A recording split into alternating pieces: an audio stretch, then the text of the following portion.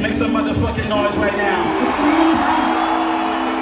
Entertainment orphanage, navigating two bitches, texting them the coordinates, two phones literally, house party loitering. Feel so dummy, had to let several lawyer in. One day I tell you how my life was unfortunate. Uh, but now I tell you how fast these portions get. Story got it running reckless. About to eat my bitch for breakfast. Pink pussy, been a preference. Never fold under pressure. Cheap shots, let it rock. I open,